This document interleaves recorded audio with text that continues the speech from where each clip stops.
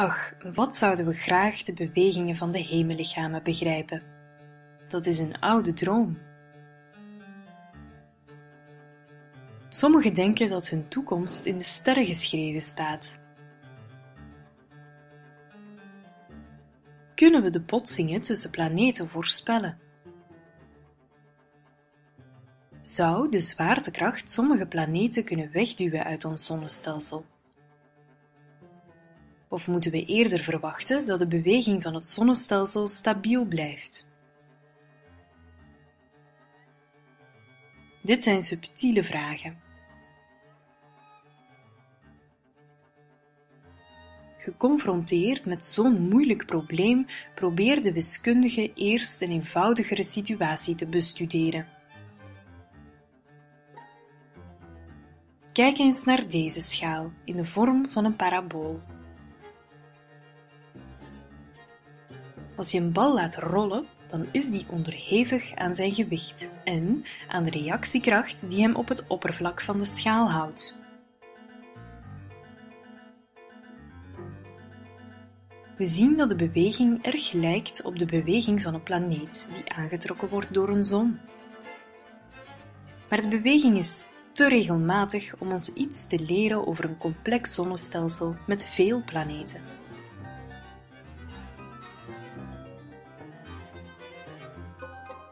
We nemen dus een schaal met een meer ingewikkelde vorm. De bal is nog altijd onderhevig aan zijn gewicht en aan de reactiekracht van de schaal. Zijn beweging is nu echt ingewikkeld.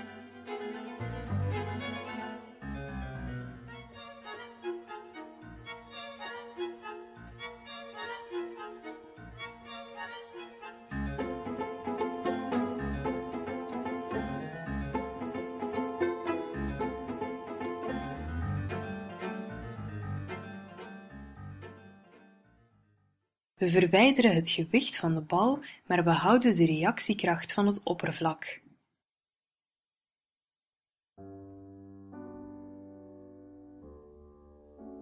Luister liever naar Pierre Duhem, een wetenschapsfilosoof, die het werk presenteert van de wiskundige Hadamard, gepubliceerd in 1898 in het artikel over geodeten op oppervlakte met tegengestelde kromming. Hij zei: Een massa glijdt op een oppervlak en er is geen zwaartekracht en geen wrijving die de beweging belemmert. De lijn die de massa volgt noemen meetkundigen een geodetische lijn van het oppervlak in kwestie. Deze geodeet is volledig bepaald als we de beginpositie van ons punt en de richting van de beginsnelheid vastleggen.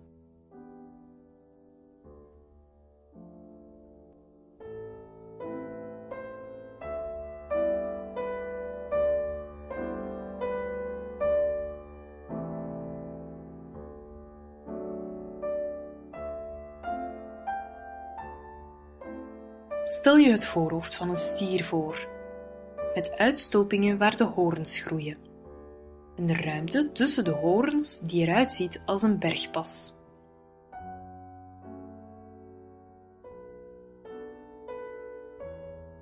Maar laten we de horens zeer lang maken, zodanig dat ze zich uitstrekken tot in het oneindige. Zo bekomen we een van de oppervlakken die we willen bestuderen.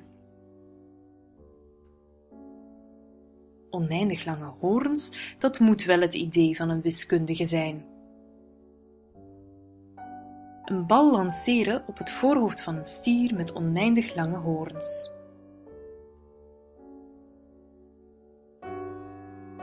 We zullen een ander voorbeeld gebruiken maar een dat uiteindelijk nauw aansluit bij de geodeten van Hadamar, het biljartspel. Hier is een rechthoekige biljarttafel. Ik schiet een bal weg.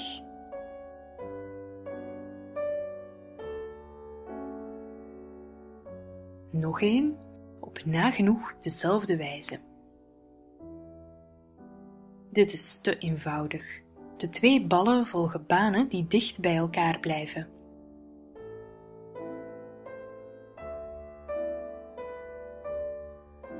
een biljarttafel in de vorm van de ellips misschien?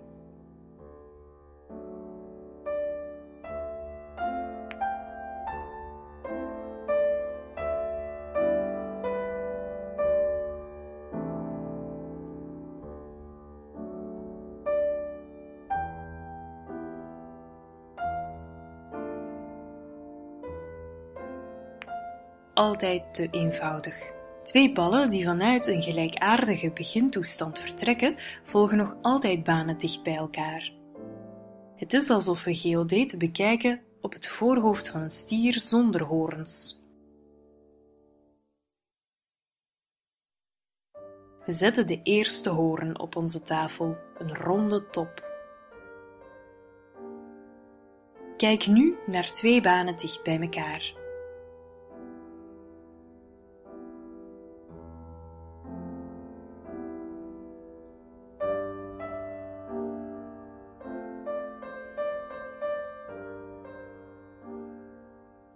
Ze raken de top. De eerste gaat de ene kant uit en de tweede de andere. Hun toekomst wordt al snel heel verschillend.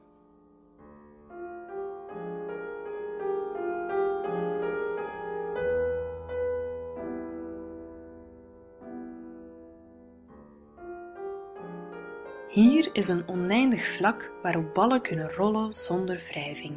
Op dit vlak zijn er drie ronde hindernissen. We noemen ze A, B en C. Het is een beetje alsof we geodeten bekijken op een oppervlak met drie hoorns. We nemen een bal en schieten hem weg. Als we goed mikken, kan de baan botsen op A en dan B, dan C, dan A en dan B, dan weer C, een periodische driehoekige baan. Zijn er nog andere periodieke banen? Hadamar heeft een fantastische stelling bewezen. Die zegt dat als je een woord schrijft met de drie letters A, B en C, met de voorwaarde dat twee opeenvolgende letters verschillend moeten zijn, bijvoorbeeld AB, AB, CA, BC, wel dat er dan een unieke periodieke baan is die de toppen raakt in de volgorde voorgeschreven door het woord in kwestie. Je ziet hoe complex de situatie is. Voor elk woord is er een periodieke baan. En er zijn zeer veel woorden. Neem bijvoorbeeld het woord ABC, BC, BC. Dit levert een baan die doet alsof ze enkel tussen B en C botst, maar eenmaal per elf botsingen botst ze toch op A. Hiervoor moeten we natuurlijk wel heel goed mikken.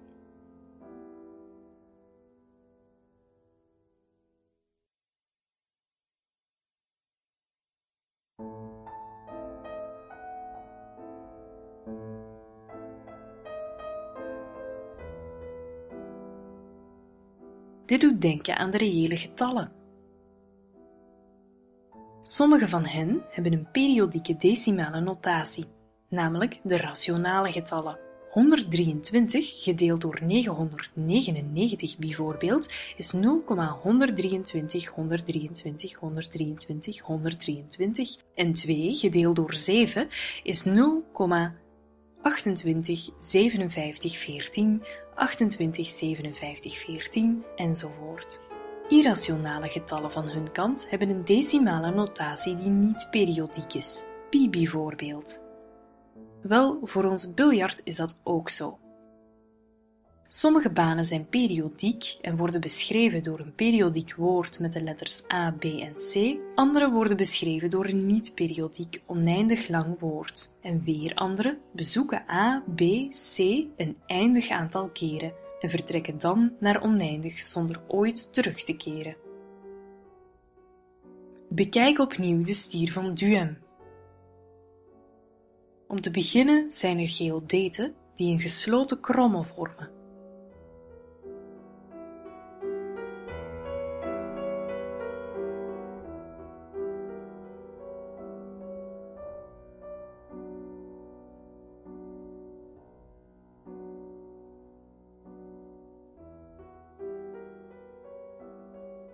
Zijn er ook die zonder ooit terug te keren naar hun beginpunt er toch nooit oneindig ver van weggaan.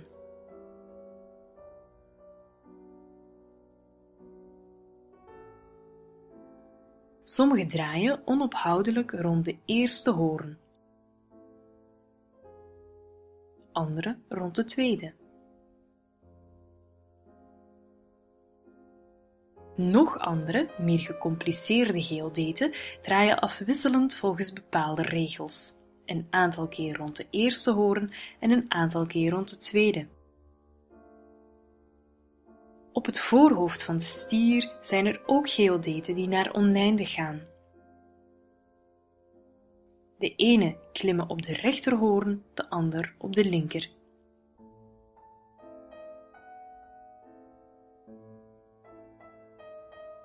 Stel je voor dat de maan, die altijd braaf in de buurt van de aarde gebleven is, opeens zou besluiten om naar oneindig te vertrekken.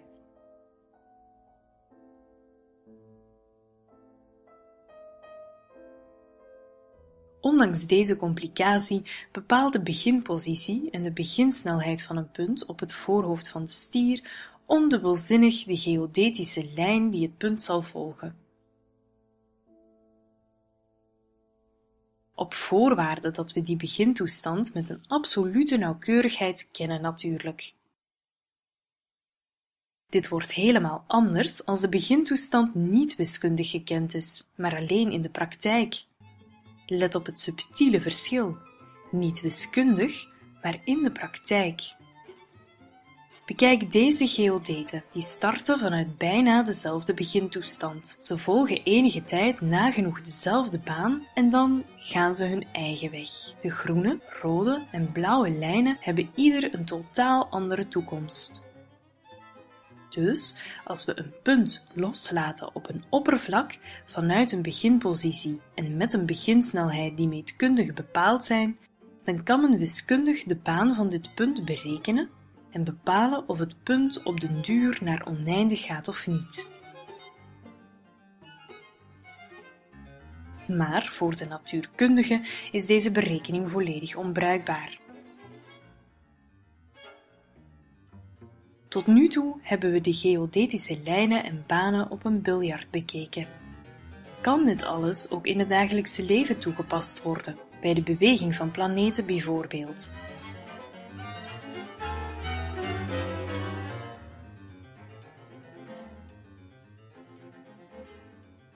De vraag om mijn toekomst te voorspellen blijft nog steeds onbeantwoord.